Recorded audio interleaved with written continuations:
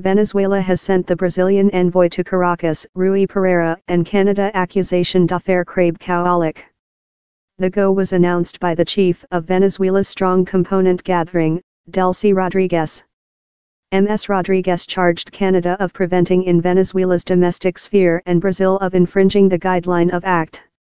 Canada superimposed sanctions regime on elder Venezuelan officials a few months back. The judgment to oust envoy Pereira may include been caused by Brazil's latter appeal how CEO Nicolas Maduro was always disturbing the opposition. Venezuela's tactful relations in Brazil include degraded with Brazil's center-right CEO, Michel Temer, replaced leftward-wing lead Dilma Rousseff. Her impeachment trial was outlined by Mr. Maduro as a long-wing coup.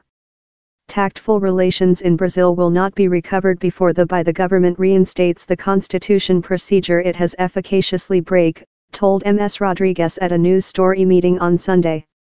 She as well charged Mr. Kowalik of constant and persistent, rough and blatant intervention in the domestic sphere of Venezuela. Relations in Canada include been hard for months. Ottawa superimposed sanctions regime on Venezuelan officials over the year for estimated human rights violations and corrupt practices. Overseas Secretary Jorge Arreaza told in November how the sanctions regime were illicit and charged the Canada by the government of disgraceful and complete subordination to Donald Trump card's authority. Canada and Brazil are amongst lot countries crucial of Mr. Maduro's judgment to gather a component gathering, that efficaciously replaced the opposition-controlled domestic gathering. The ad induced massive road protests, that annihilated more than rather than 120 human beings in four persons months. The opposition boycotted the survey in July and as well detained an informal plebiscite in that they told more than rather than 7 millionth Venezuelans elect versus the component gathering.